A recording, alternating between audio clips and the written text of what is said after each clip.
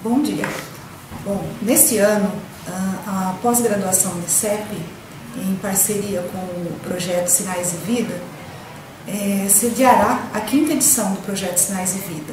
Nós realizaremos um encontro em comemoração ao Dia Nacional do Surdo. É, esse encontro será realizado exclusivamente em Libras, sem, ter, sem tradução para a língua oral, e nós convidamos a todos os surdos, né, toda a comunidade, para que participem do encontro, que será, na verdade, uma, um momento de reflexão sobre as políticas de inclusão né, e a situação do surdo no, no país.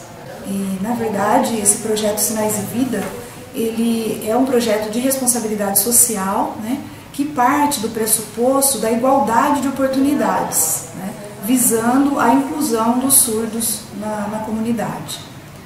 É, esse projeto é uma iniciativa é, dos profissionais e surdos né, que atuam junto a essa comunidade e, e nesse ano ele será realizado aqui na Unicep.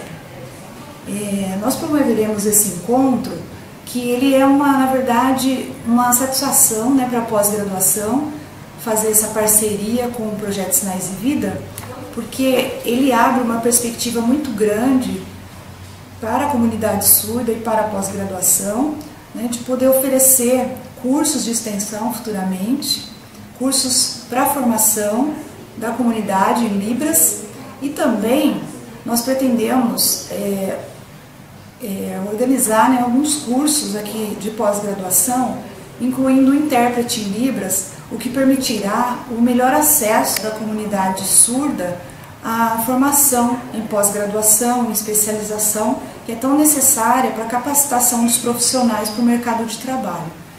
E dessa forma, as lutas, né, as conquistas que a comunidade surda tem conseguido né, durante todos esses anos será bastante ampliada.